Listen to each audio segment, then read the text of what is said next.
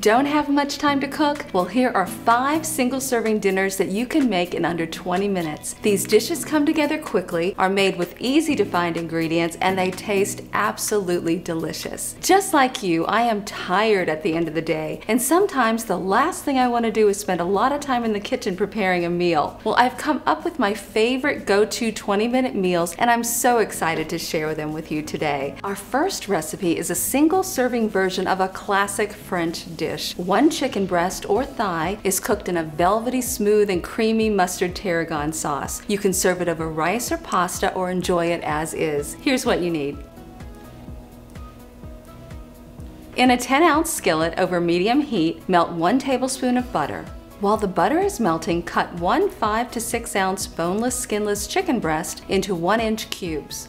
Sprinkle the chicken with a quarter of a teaspoon of kosher salt and an eighth of a teaspoon of black pepper and add the pieces of chicken to the pan. Cook the chicken pieces for about six minutes, flipping them over to brown all sides until they're cooked through. Transfer the chicken to a plate and cover with foil to keep warm. Add a half of a cup of heavy cream to the skillet and use the tip of your spatula to scrape up the delicious brown bits from the pan. Stir in one teaspoon of Dijon mustard and a half of a teaspoon of dried tarragon. Cook over medium-low heat, stirring constantly until the sauce thickens slightly, which takes about five minutes. Taste the sauce and add additional salt if necessary. Add the chicken back to the pan and stir. This mustard sauce is just so incredibly delicious. If you'd like to make a little extra sauce, just double the ingredients. Pour over cooked rice or pasta and enjoy. This is so good. The chicken is tender and juicy. I love the sauce. It's so rich and creamy. With a hint of the Dijon mustard and the tarragon, it's excellent. This is a great single serving dish. In addition to the five single serving recipes, we've got a special bonus recipe for you at the end of the video that you won't want to miss, so stay tuned for that. Recipe number two, vegetarian chili.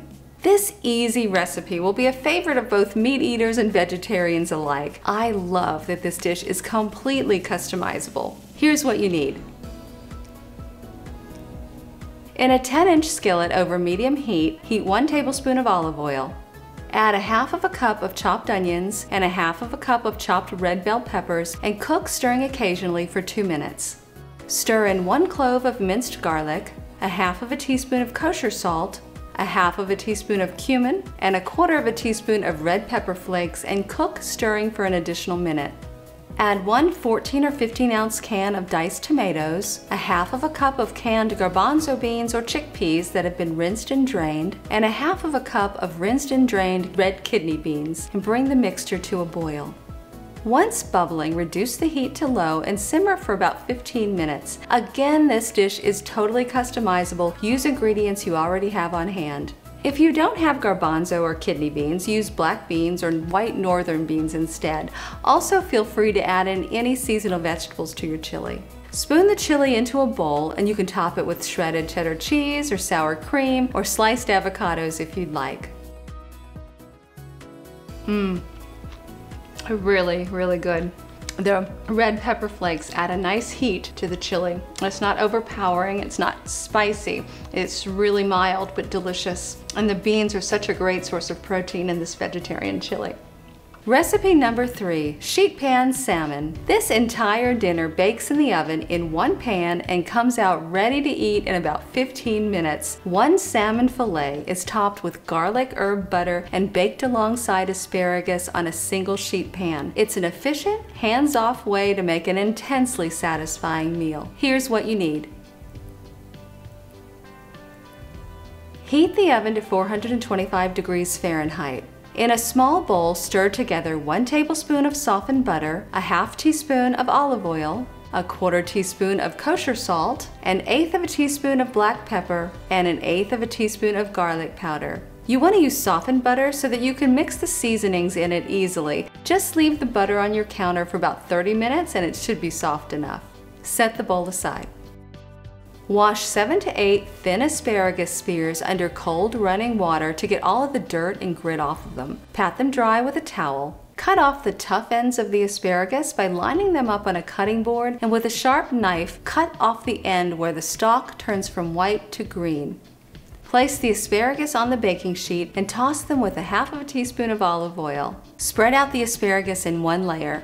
Lightly coat the opposite side of the baking sheet with about an eighth of a teaspoon of olive oil and place one 4 to 5 ounce piece of salmon skin side down on the oiled area.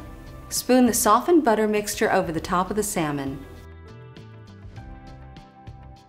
Bake for 10 to 15 minutes depending on the thickness of the salmon. You'll know when your salmon is done when it flakes easily with a fork. You can also check the fish for doneness with an instant read thermometer. The FDA recommends a minimum internal temperature of 145 degrees Fahrenheit, which should be measured at the thickest part of the fillet. I cook my salmon to 135 because that's how I like it. I think it's perfect that way. The thin asparagus should be done within this time, but if the asparagus you use is a little bit thicker, it may need more time to cook. If so, just transfer the salmon to a platter, cover it, and return the baking sheet back to the oven and cook until the asparagus is tender. Drizzle one tablespoon of lemon juice over the asparagus and salmon after baking.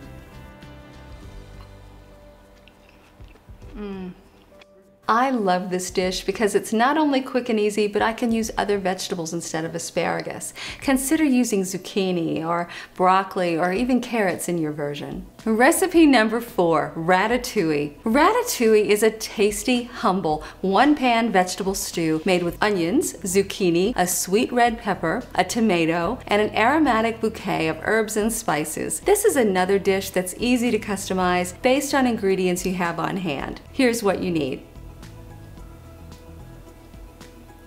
Heat one tablespoon of olive oil in a 10 inch skillet over medium-high heat. Thinly slice half of a small onion and add it to the skillet, along with one thinly sliced small zucchini, one chopped small red pepper, and one eighth of a teaspoon of salt. Cook for about 8 minutes, stirring occasionally until the vegetables are slightly tender.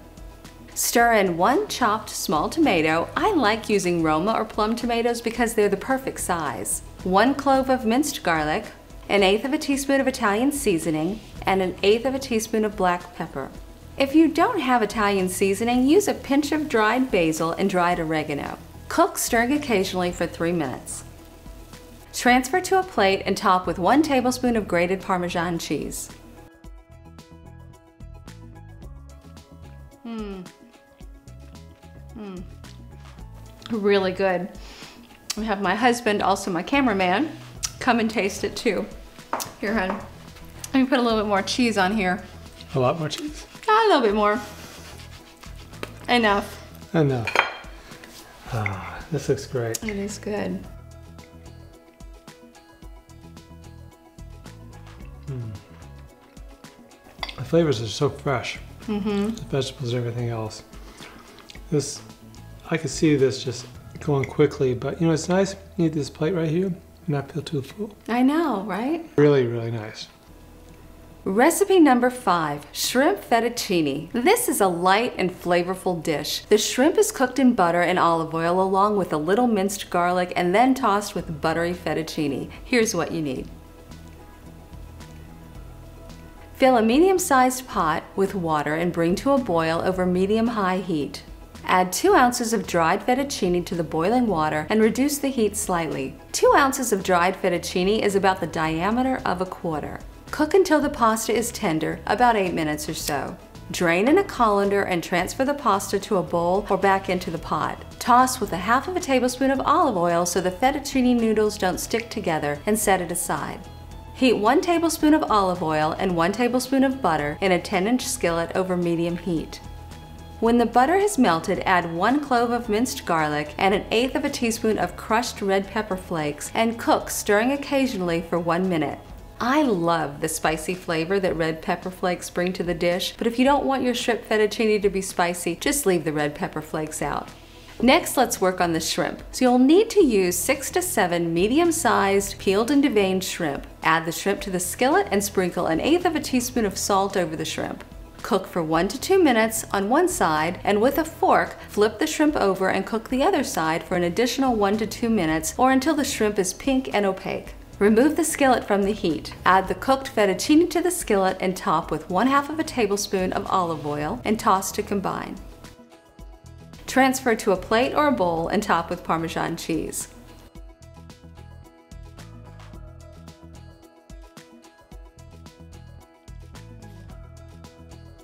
So here's a cooking for one tip. I find that keeping bags of frozen shrimp in my freezer to be a really great idea. Having these items on hand make it easy to make a wonderful meal at the end of a long day. Simply use what you need and know with confidence that by keeping these items in your freezer you can enjoy a delicious meal anytime.